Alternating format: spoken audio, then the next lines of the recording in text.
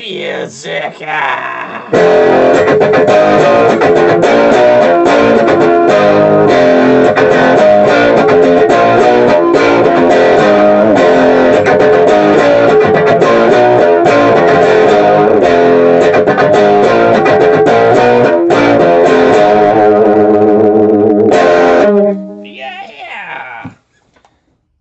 Milsurp Garage. All right, we're gonna play with shotgun chambers, and for this we need a ruler. We need a emptied out, shot out shotgun shell, folded back into its original size. A spent shell what it looks like after it's shot, a pen, a stir, a wooden stir,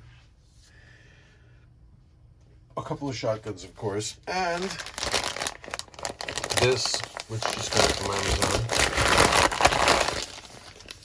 that I have not even unwrapped yet. It is the American National Fire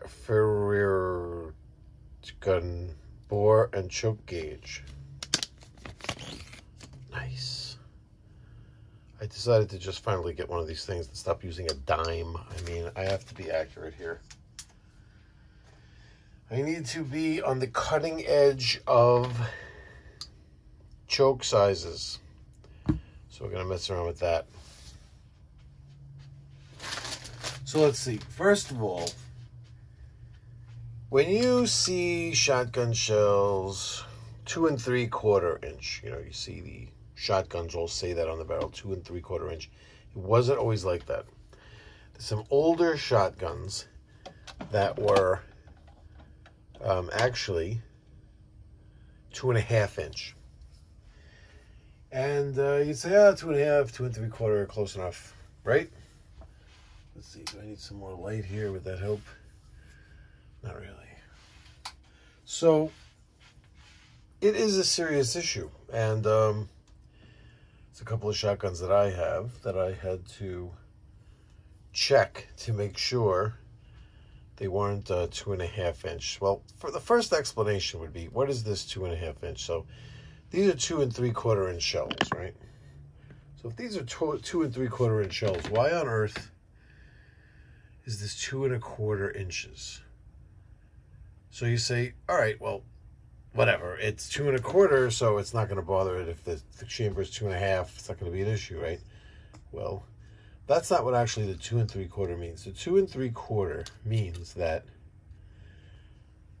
after shooting the shell, like the shell as a whole, before it's crimped, it's two and three quarter inches long. So a two and a half inch chamber would mean that it's two and a half inch, which would be right here. Two and a half inch. This this quarter inch right here. If the chamber was two and a half inches, the shell would not be able to fully unfold and allow the wad or the slug or whatever's coming out of there to exit. Um, just to make this visible in a quick diagram, it looks something like this. If if the chamber looked like this, this is the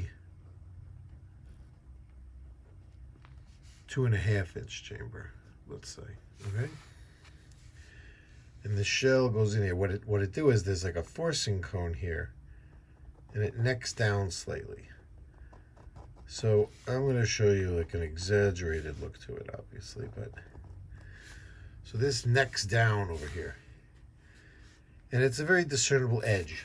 You could feel it if you were able to get like say your pinky in there. You'd feel that edge, and obviously the shotgun shell isn't going to slide in all the way up to here. It wouldn't have any place to expand at all. So let's say in the two and a half inch chamber, the shell would go in to a certain distance where when it unfolded open, it would unfold open exactly two and a half inches. So this would be right here. This distance right here would be two and a half inches.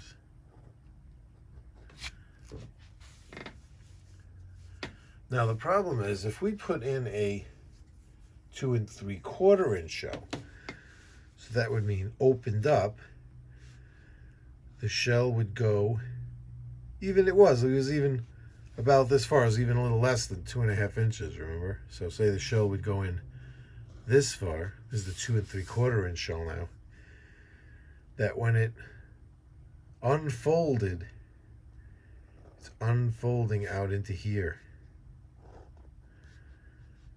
where this narrows. And that could potentially be a problem. Whereas the, the two and three quarter inch chamber, let's say, where that starts the necking down.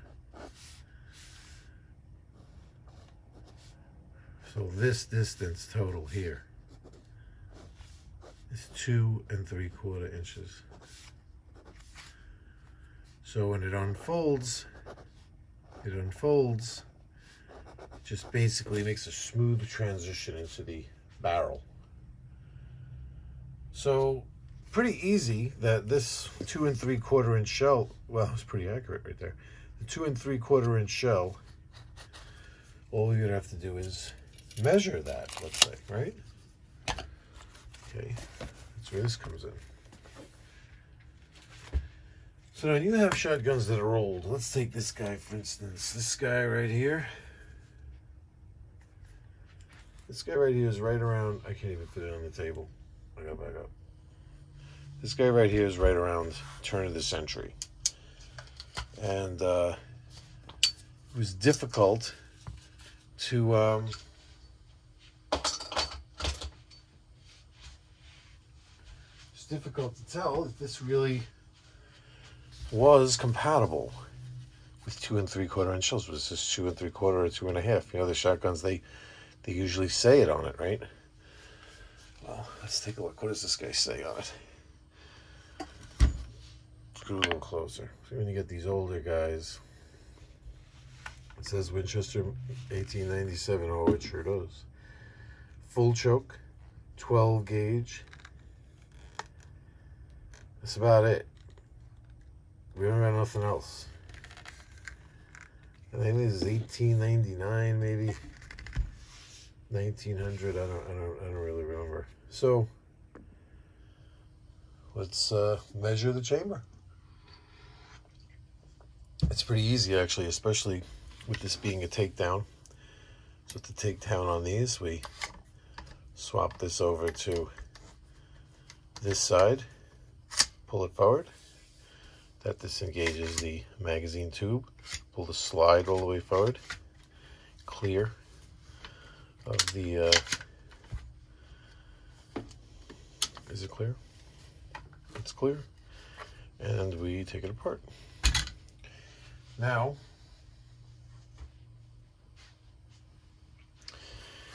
we reach in here, okay? If you put it in there, you'll be able to feel be able to feel exactly where that transition is. You find it with the stick and you go.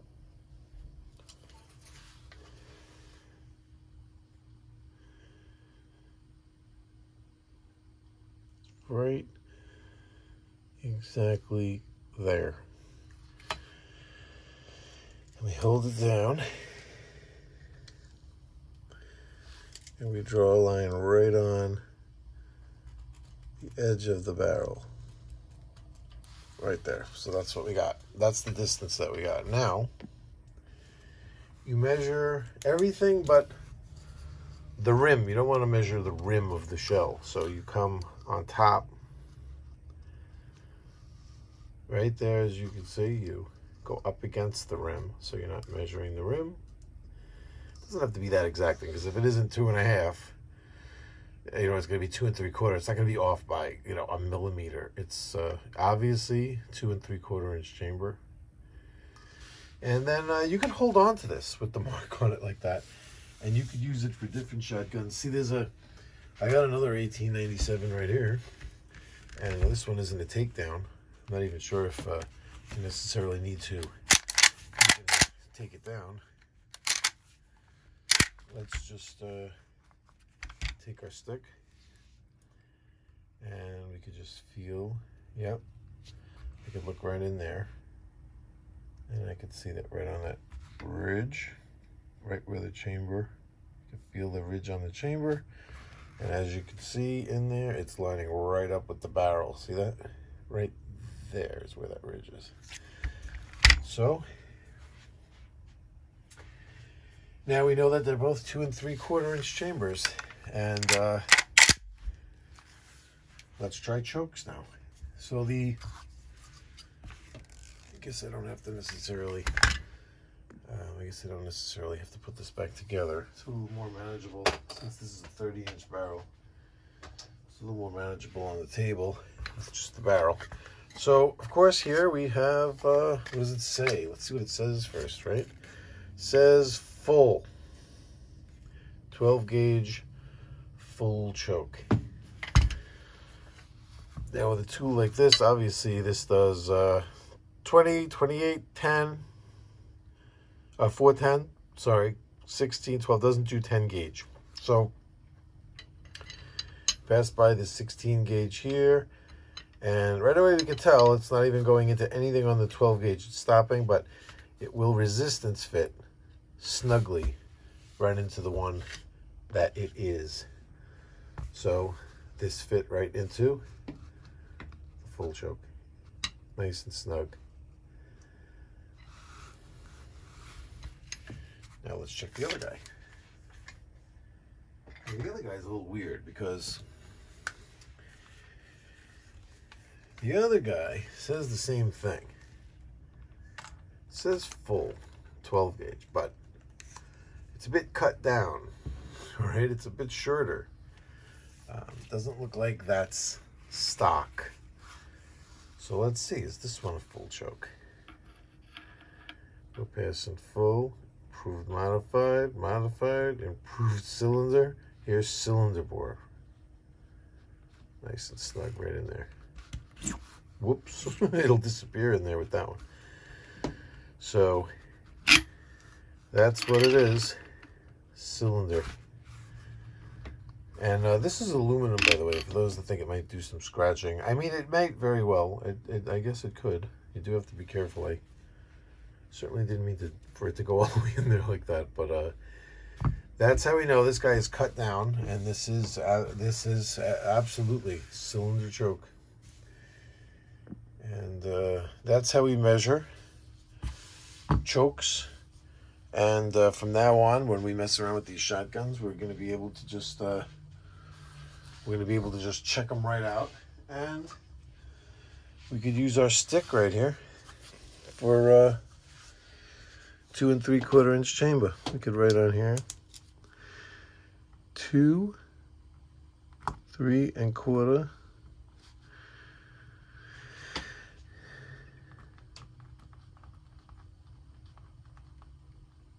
Chamber gauge. And that is what this is going to be from now on. And we can even make uh, that a little darker. And we'll put this in our, uh, in our little tool, gun tools. And that's a wrap. Stay tuned because tomorrow is going to be the grand premiere of our uh, newest featured uh, gun. And just as a preview, if you guys can tell what rifle this is that I'm chambering. I don't know how the hell anybody would know that, but that was a crazy idea. You all take care, and uh, we'll see you tomorrow. Yes,